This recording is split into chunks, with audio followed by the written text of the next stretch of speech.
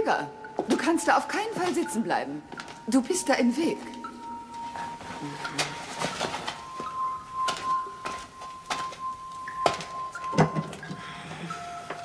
Und setz dich nicht auf Annas Sarg, mein Junge. Du weißt doch, wie es ist, wenn man aufwacht und den Deckel nicht aufkriegt. Ich dachte, sie wäre ausgeflogen. Du hast dir überhaupt nichts gedacht. Mach, dass du da runterkommst. Sie ist tatsächlich weggegangen. Wirklich? Rüdiger, geh runter. Du wirst heute Nacht nicht wieder die ganze Zeit so rumhängen wie letzte Nacht. Ich find's langweilig, langweilig, langweilig. Bist du krank? Sieh dir mal seine Lippen an, Theodor. Die sind ja völlig farblos. Du musst endlich etwas essen. Warum? Wieso muss ich überhaupt irgendwas machen? Also gut, ich werde was essen. Ich, ich werde mich vollschlagen. Ich werde alle anknabbern, die, die mir über den Weg laufen. Seid ihr dann zufrieden? Hä? Hör dir nur an, wie er mit uns spricht. Manchmal denke ich, wir hätten Transsilvanien nie verlassen sollen, Theodor. Der Junge braucht ein schönes Schloss, wie wir es hatten. Ein dunkles, feuchtes Labyrinth, in dem er spielen kann, Liebling. Und richtige Freunde. Ich bin sicher, dass Rüdiger sich kaum noch an Transsilvanien erinnern kann. Alle drei machen uns Sorgen. Anna, Lumpi, Rüdiger. Wir werden uns hier schon einleben.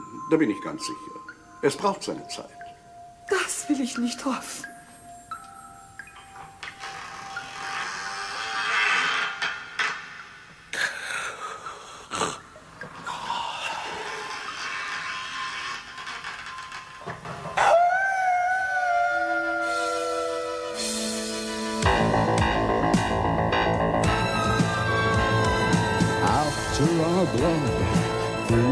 The blood they can see in the dark. Vampires, you know they can fly and fly oh so high they can see in the dark. Vampires, if you see one tonight, don't put up a fight. Make a friend if you can, a friend who can fly, can fly oh so high. São Paulo.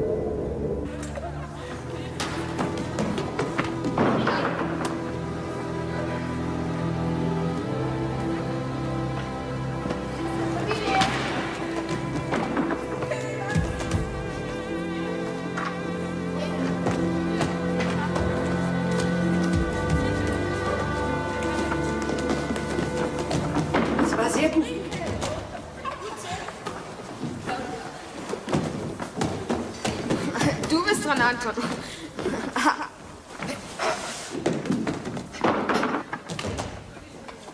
Es ist unglaublich. Ich habe noch nie jemand so schlecht ratschlagen sehen. Du gibst dir ja nicht mal Mühe. Du musst dich einfach mehr anstrengen. Zieh dir das an, Anton. Du bist sicher durchgeschwitzt nach der Anstrengung. Anstrengung? Ja, sehr gut. Komm, lass uns gehen, Anton. Vater und ich wollen heute noch ausgehen, sonst müssen wir so hetzen.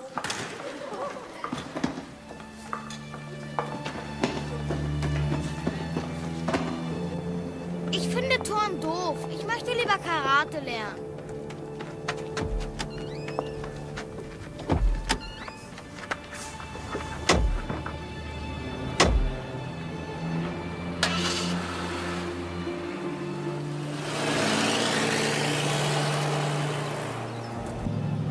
Du wolltest doch immer Gymnastik machen, Anton. Ja, das war, als Teddy Kasper noch da war. Jetzt sind fast nur noch Mädchen.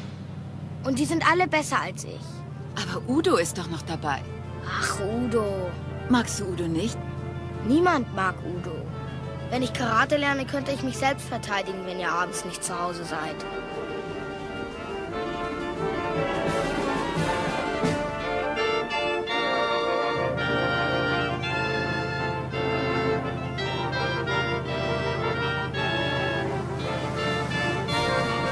Ihr geht ständig abends aus.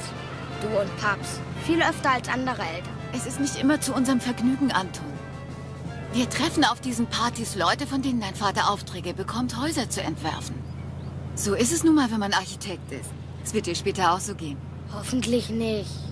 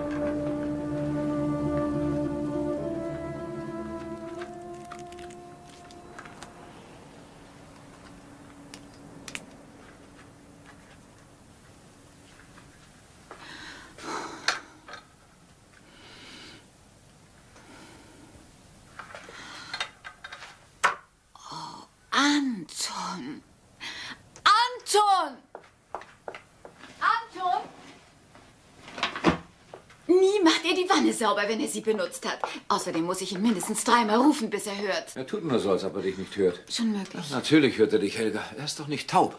Aber du musst ihn ja immer in Schutz nehmen. Nein, ich finde nur, er hat den Kopf so voll mit diesen Ungeheuern und Horrorgeschichten, dass seine Gedanken ständig irgendwo anders sind. Ach, Unsinn. Anton?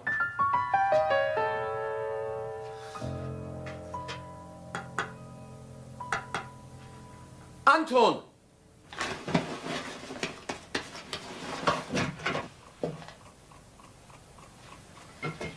Du arbeitest noch? Mhm. Gut.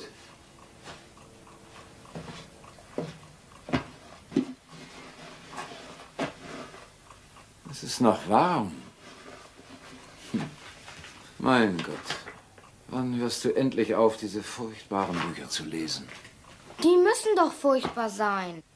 Das habe ich natürlich nicht gemeint.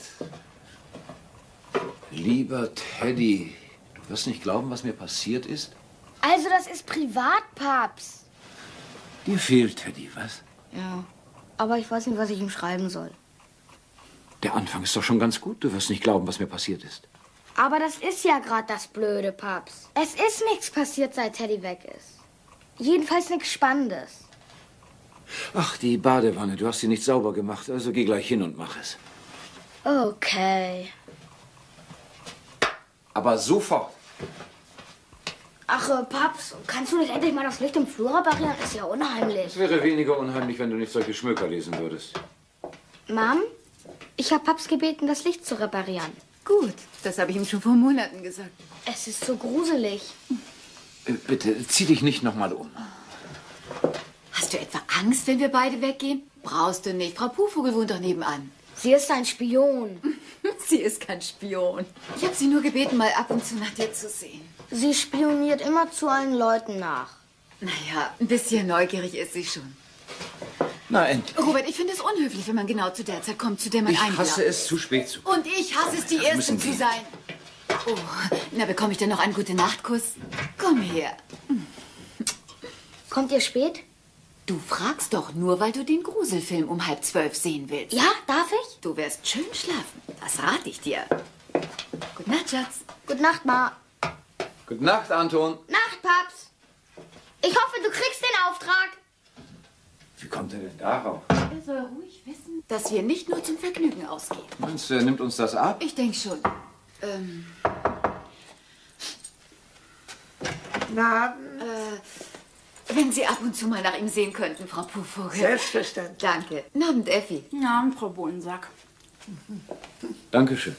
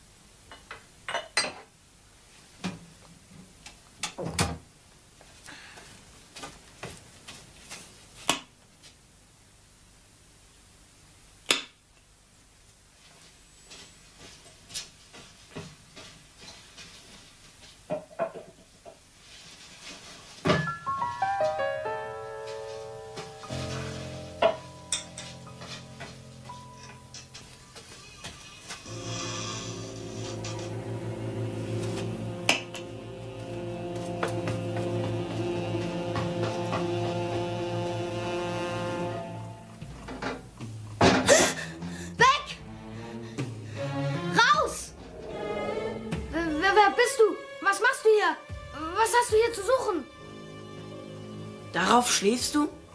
Ja. Viel zu weich. Geh sofort von meinem Bett runter, sonst kannst du was erleben. Ich, ich warne dich. Brauchst du das Licht?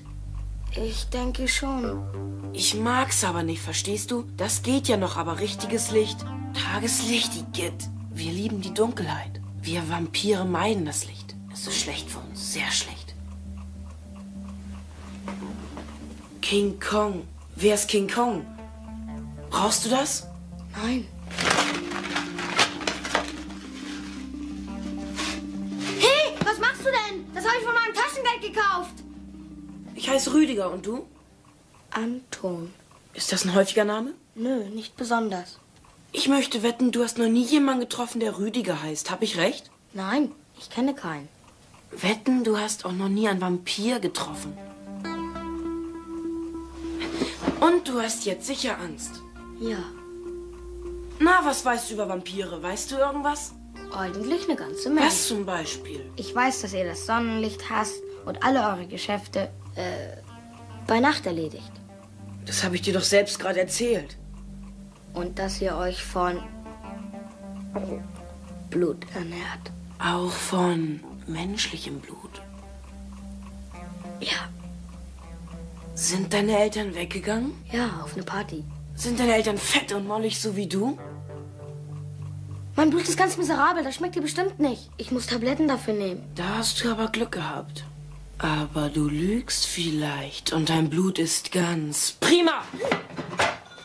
Ah.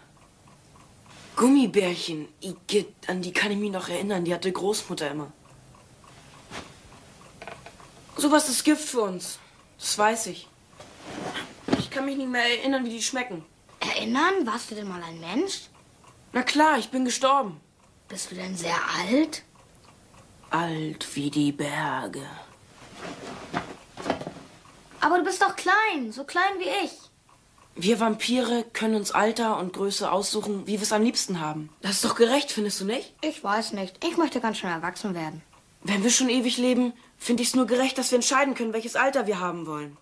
Aber ich weiß auch, dass Vampire sterben können. Wenn ich rauskriege, wo du wohnst und ich mir einen Pfahl mache und ihn dir durch den Sack ins Herz steche, würdest du sterben. Und wenn ich dich beißen und dein ganzes Blut aussaugen würde, dann würdest du sterben. Mach, dass du rauskommst. Na warte, ich komme gleich wieder.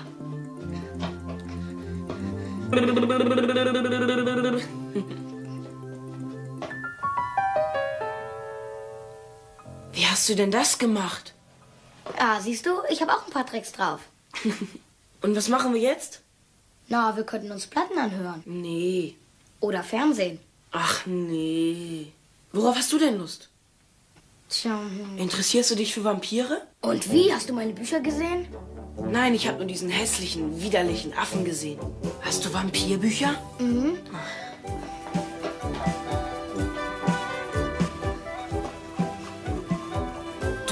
Ja Dracula. Dracula ist mein Lieblingsbuch, Anton. Kann ich's haben? Wenn du es mir wiederbringst? Möchtest du, dass ich wiederkomme? Wenn wir Freunde sein können? Weißt du, da sehe ich keine Chance. Nein. Es sei denn, du hast Lust, ein Vampir zu werden.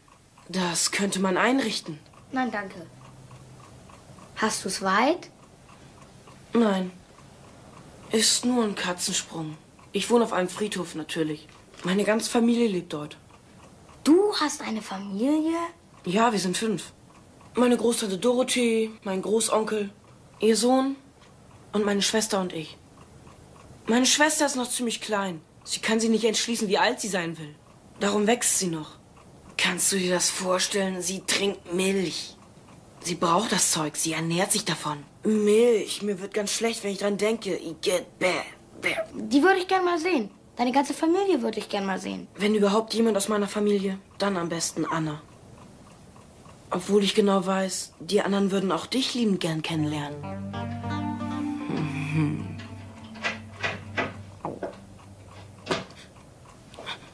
Was war das? Schnell, Rüdiger, und das Bett.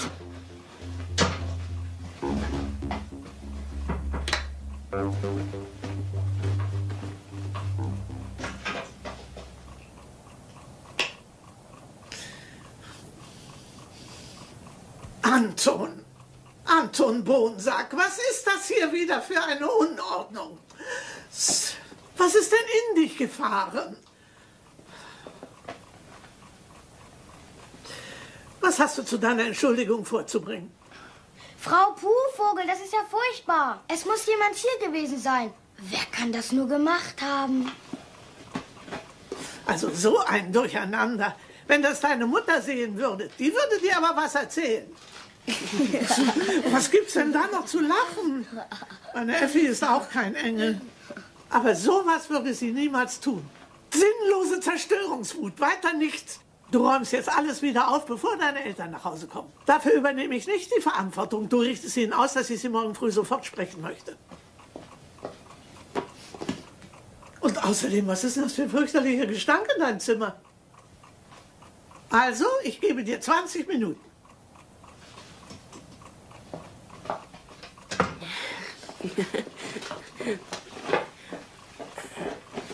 Verstehe ich nicht. Was für einen Gestank hat sie denn gemeint? Was soll denn hier stinken? Äh, Ich weiß nicht, was sie damit gemeint hat. Bin ich das vielleicht? Weißt du, naja. Wie riech ich denn? Es liegt sicher an deiner Wohnung. Also wie? Modrig. Und weiter? Ach, was Frau Puhvogel schon erzählt. Weiter. Verwest. Wie ein Grab? Ja. Ihr Menschen mögt keine Gräber, stimmt's? Eigenartig. Bist du jetzt wütend? Nein, weißt du übrigens, wonach du riechst? Eigentlich dürfen wir gar nicht riechen. Darum müssen sich Menschen immer zu waschen. Du riechst irgendwie süß und von süß wird mir schlecht. Dann sind wir quitt. Ja. Jetzt müssen wir aber wirklich aufräumen. Willst du mir nicht helfen?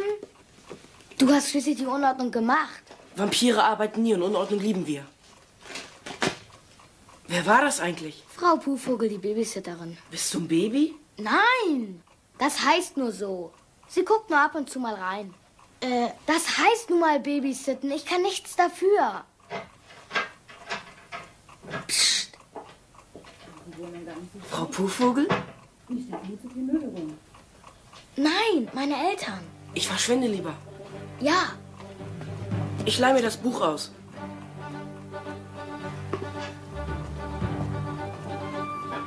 Kommst du wieder?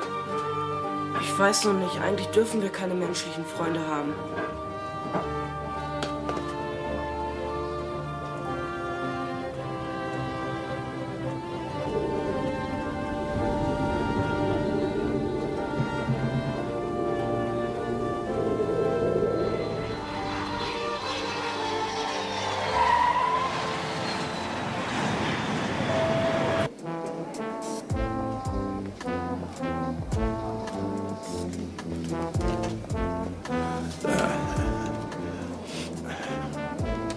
Inspektor Geiermeier? Äh, Geiermeier, ja.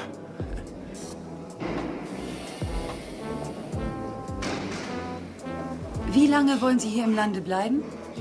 So lange, wie ich brauche. So lange, wie Sie wofür brauchen. Äh, Mein Auftrag. Und worin besteht Ihr Auftrag? Was ist Ihr Beruf? Oh, Ich bin Friedhofsinspektor, Friedhofswärter. Ja, ich suche und, äh, und vernichte Vampire. Dann müssen Sie sehr erfolgreich gewesen sein, wenn man bedenkt, wie selten Vampire geworden sind. Danke. Ich bin Ihren Vampiren schon lange auf der Spur. Seit 30 Jahren. Ja, und die Spur endet hier. Vampire? Hier? Ja. Wie kamen die hier rein? Hm?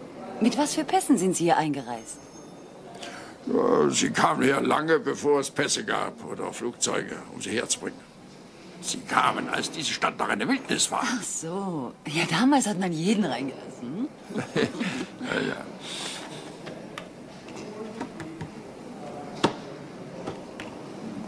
Sie sagen es.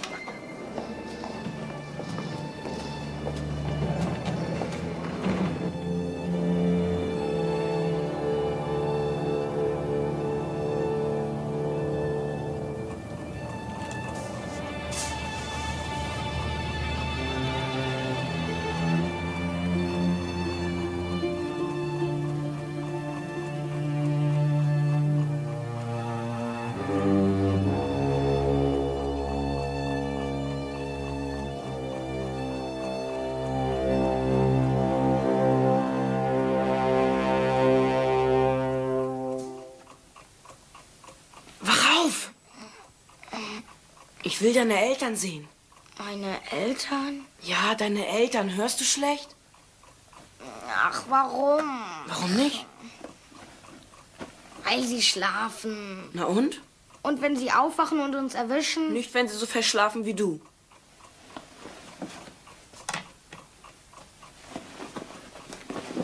Aber du wirst nicht viel erkennen. Ich kann das Licht nicht anmachen. Ich sehe doch auch im Dunkeln. Ach ja?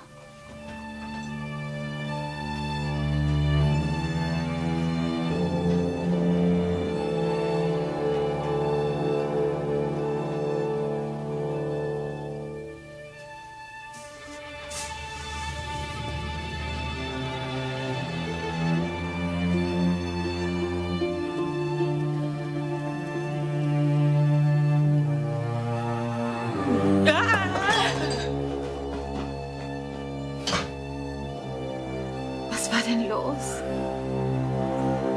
Ich habe wohl geträumt. Ich muss aus Versehen die Lampe umgeworfen haben. Ach so, die Lampe. Ja. Ich hab schon gedacht. Wir müssen raus hier. Lass mich runter! Lass mich runter! Gefällt's dir denn nicht? Ich kann doch nicht fliegen!